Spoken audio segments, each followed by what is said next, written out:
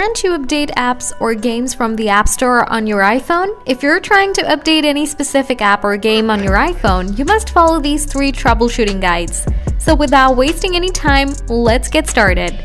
Solution 1. Turn off Wi-Fi assist and restriction. Open setting, tap mobile data, scroll down, enable Wi-Fi assist. Solution 2. Enable auto update, open setting, scroll down, tap App Store, enable app update. Solution 3. Ensure you have enough storage space on your iPhone for the app to update.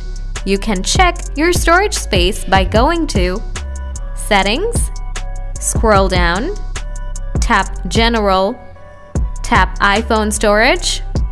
If you're running out of space, please delete some unused apps. Solution 4. Log out and log in with your Apple ID. Open App Store, tap Profile, scroll down to the bottom. Now tap Log Out. After that, you need to log in to your Apple ID. If none of the above steps work, you drop a comment for further assistance. Thanks for watching. See you again.